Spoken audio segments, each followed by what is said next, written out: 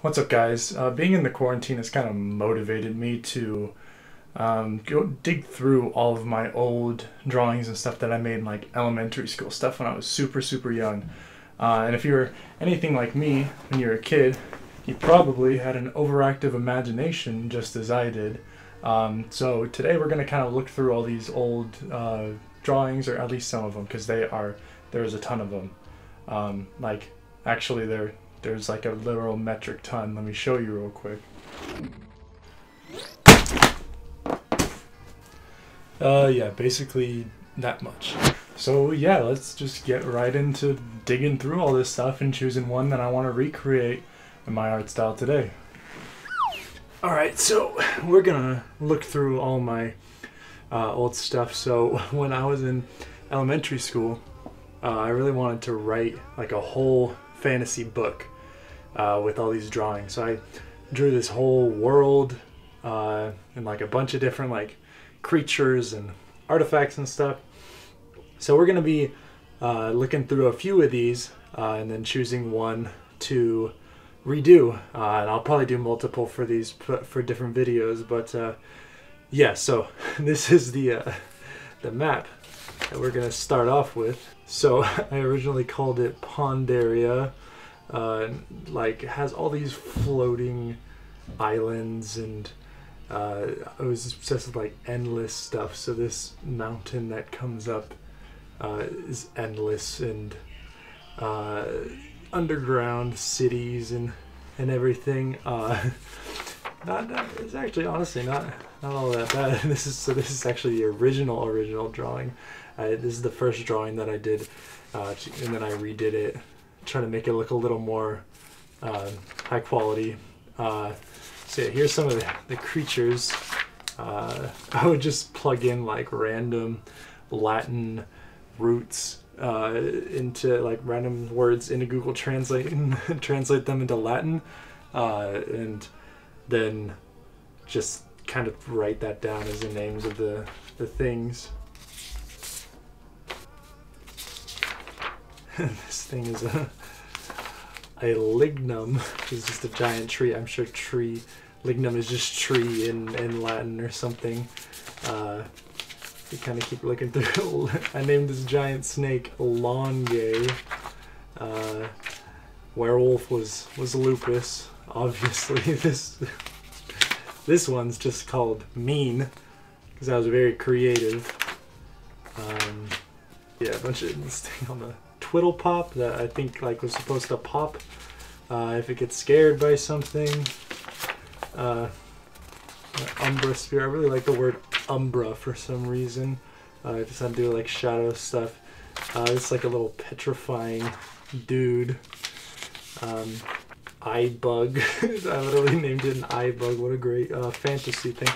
Uh, this character is supposed to be. I remember it's supposed to be the uh, the main villain.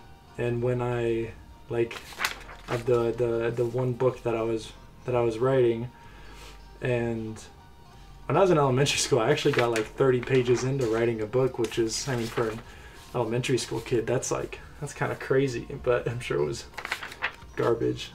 so, anyways, yeah, just a bunch of random King's, King's Knight.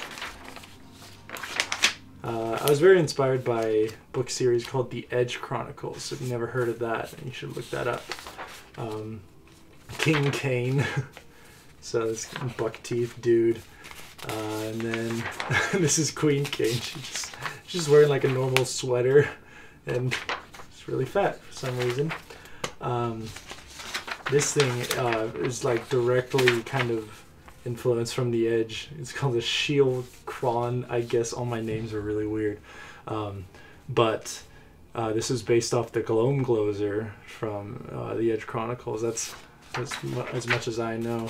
So this one right here is going to be our lucky winner. Uh, the Piscis. Kind of like a fish, I don't know, monster thing that uh, looks like it was a lot like a Ben 10 alien because I was obsessed with that too when I was a kid. Um, so yeah, let's see what we can do with this one. All right, so here's a little um, kind of recreation that I made of the uh, drawing. Uh, I just redrew it in Photoshop so we can get like a clearer little look at it. So this is going to be our starting point. So now uh, let's get into the time lapse of what I did. All right, so I'm going to start off here by just blocking in a little background to start the sketch on. Uh, and then my idea for this was to kind of just make this standard uh, humanoid kind of uh, fish man type thing. Kind of like if you take the you know, fish creature from Shape of Water, um, but then mix it with an angler fish because it has a little um, Ripjaws style uh, light, bioluminescent light that's hanging off uh, in front of its head. Uh, I just wanted to create basically just a, a fishman, angler fish type guy. He actually ends up looking a lot like Ripjaws from Ben so maybe the influence of that show is never gonna leave my uh, artistic vision. Um, so here I'm just sketching, and I, I spent a lot of time on this sketch to try to make sure I got all the proportions right, uh, make sure I get all the uh, anatomy and everything before going in to add the details. Uh, this painting in, in total uh, took, took almost exactly seven hours. Um, so this is being sped up by over 2,000%, uh, which is kind of crazy. Um, but yeah, I just uh, go try to get as detailed as possible in like the most important spots of of this sketch, with uh, namely his his face uh, and the little lights, his hands, uh, parts of his feet. The most kind of unique because the rest of it is kind of just scaly torso. Um, I actually quite like how his hands came out uh, in this drawing because I mean you know everybody always they'll say that the hardest thing that they like their hardest thing to draw is always hands.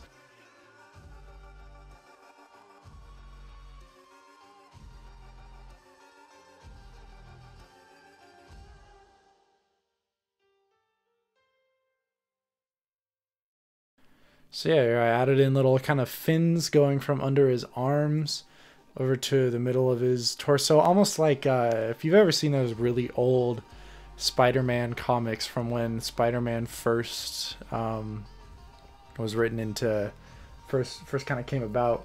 He had these uh, kind of wingsuit type things made out of webbing under his arm. So I was kind of making something like that, but with uh, fish webbing instead of spider webs.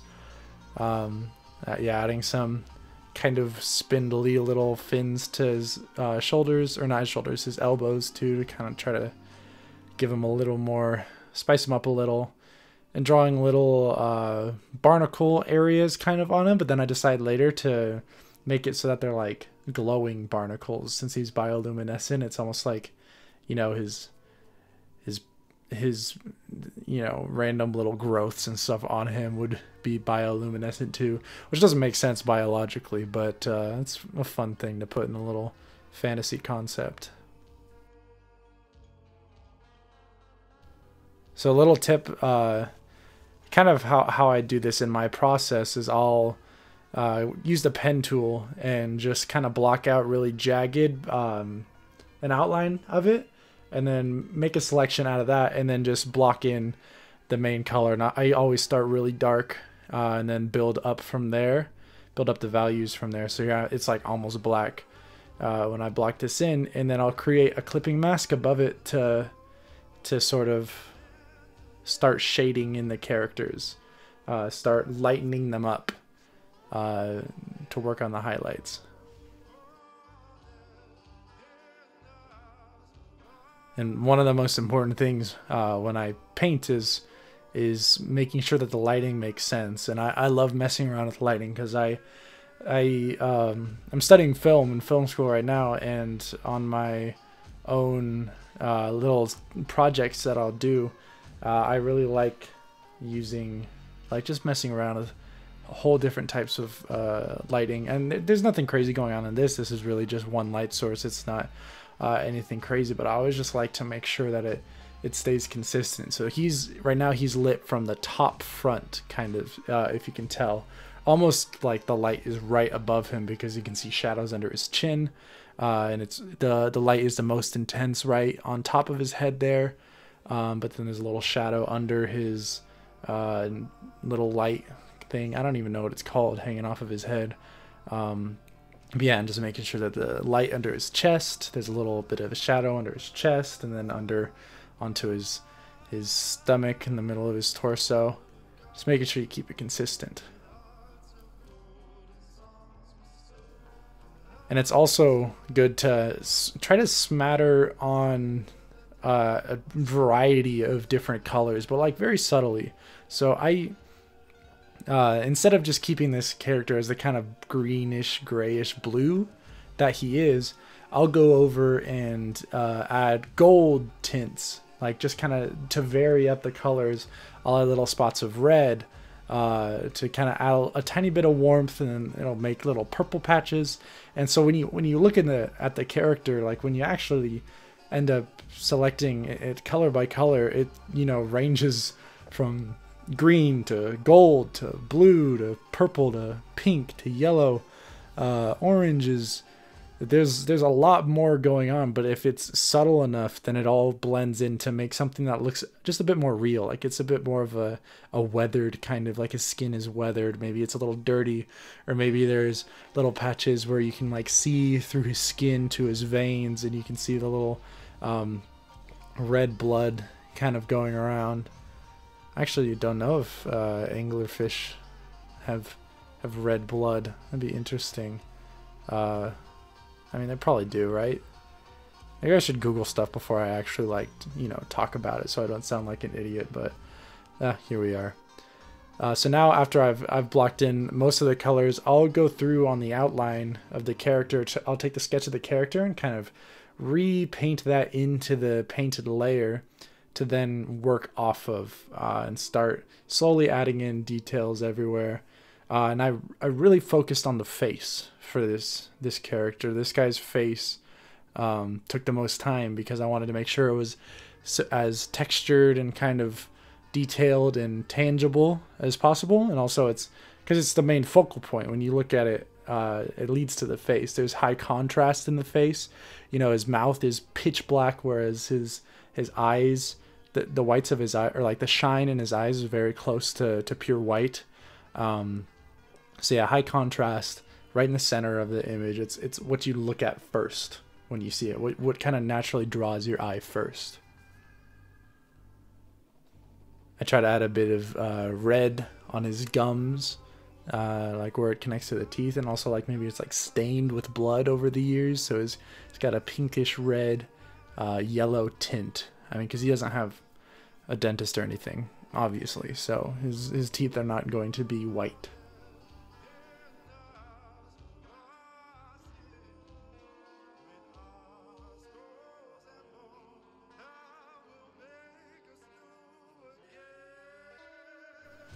Now, I always think it's very important to uh, also nail the little highlights on the on the eyes.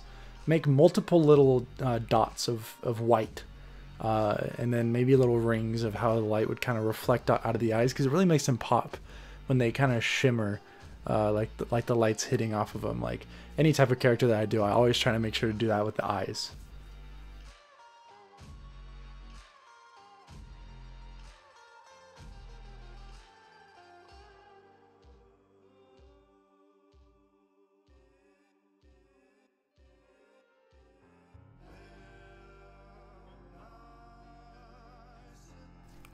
Here's where I'm adding little highlights to the, the barnacles to make them actually look like bioluminescent kind of barnacles.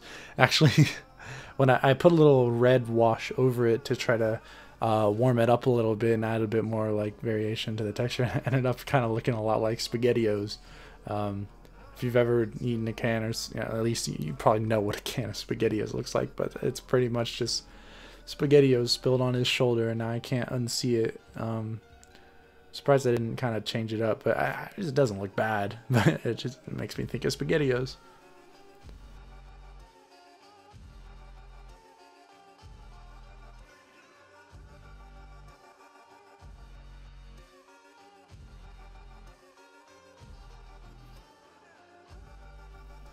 Again, just kind of combing through the painting part by part to flesh out little details.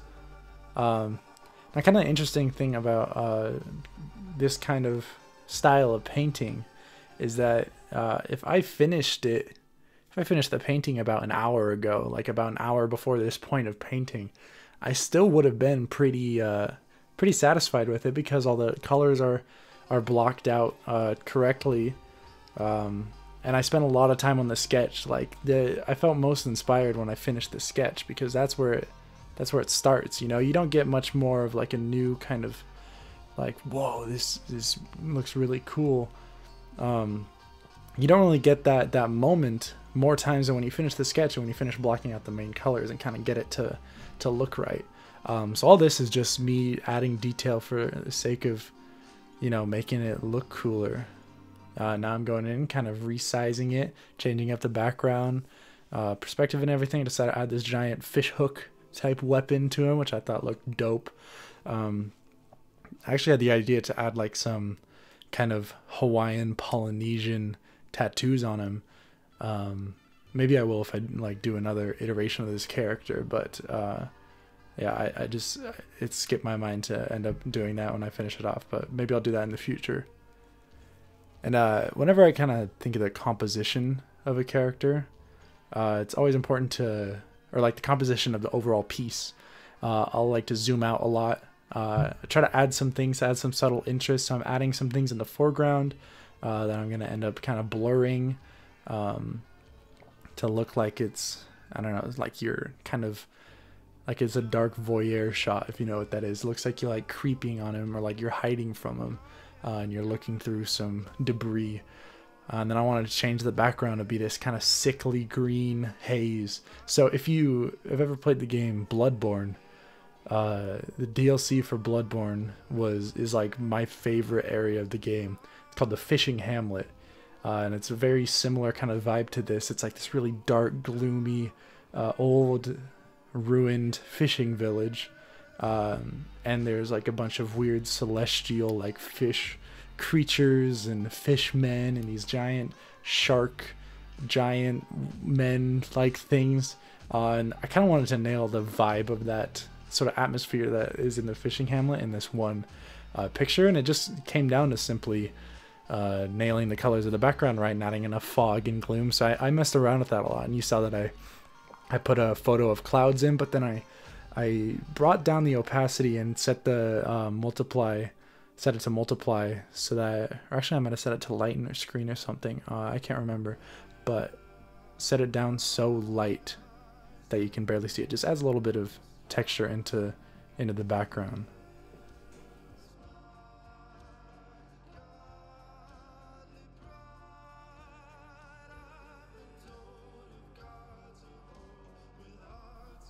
I also sketched in some ropes kind of coming from the end of the fish hook that's like wrapping around his whole body, like around his waist and then over his shoulder.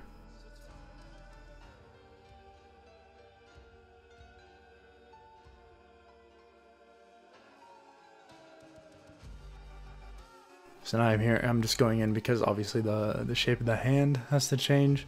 Um, so I messed around. Now this is actually where it gets harder for me to draw hands is uh, drawing them in like a, a position that makes sense. So I, I, mess around with this a lot to try to get it right. Um, and then I end up resizing it afterwards as well.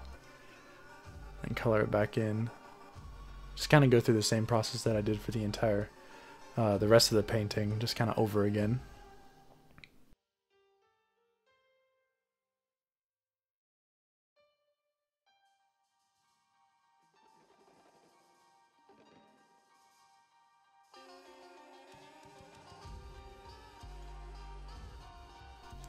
So now here's uh, a little bit more of that Bloodborne influence. I tried to add a couple lanterns, Bloodborne style lanterns right in the foreground. Uh, I was going to color them in to be like pure black and then blur them. Um, and I was going to add a little bit of light coming off the lanterns like they were glowing. But then it, I decided that it took away from the, the focal point. Um, it kind of drew your eyes right to the lantern first since they're so bright against a pure black kind of silhouette of the lanterns, so I decided to leave them off basically. And you can't even really tell that they're lanterns once they're blurred. Had a Gaussian blur effect over them, um, as if they're like right up in your grill, so they're they're defocused from your vision, as if you're focused right on the on the fish man.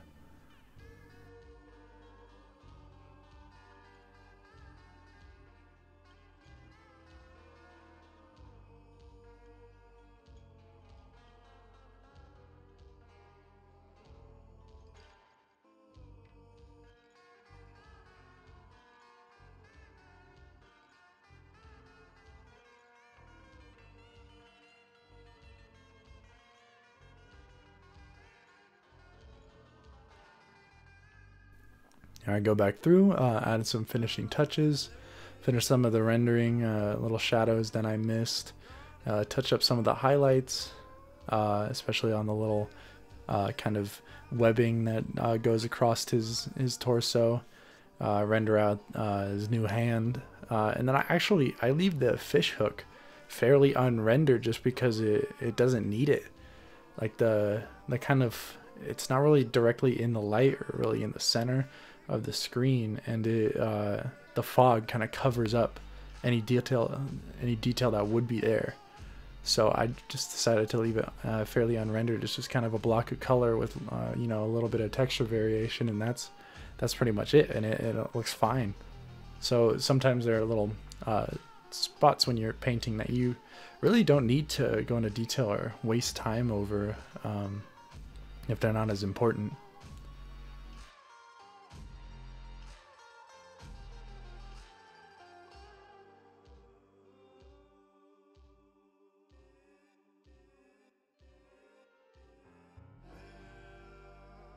I kind of color dodge up the background a little, uh, as if there's some kind of glowing, a slight glow coming through the haze. Uh, add some final color adjustment layers to really make the colors kind of pop in just the right way. And then I'm basically done. Um, so yeah, here's the here's the final product, and here's it compared to the original old drawing. So I'm very satisfied with how this come out, and I think it's it's really fun um, to go back and try to recreate your old artwork like this because um, if you're ever running out of inspiration, uh, it's always kind of nice to to fall back on something that you're really good at. For example, like I'm not very good at landscape painting, so I was working a lot on trying to uh, work on my landscapes, but I wasn't making anything that I really uh, admired, that I really liked when I finished it. So when I when I finish them, um, I I just feel like I've, I haven't made anything that I that I liked, uh, and I wanted to go back to making characters, something that I I'm really good at, that I really enjoy doing, that feels really fulfilling. So it's it's it's nice kind of balance because I while I was getting better at doing landscapes, it's it's nice to you want to make sure that you're always giving yourself uh, stuff to to to make you proud of yourself. You know, do a little bit for you and then a little bit for growth when you're growing as an artist. So, uh, yeah, I'll probably be doing more of these recreating because I have so many old drawings. Um, but I hope you learned something out of this, and uh, that's it. Peace.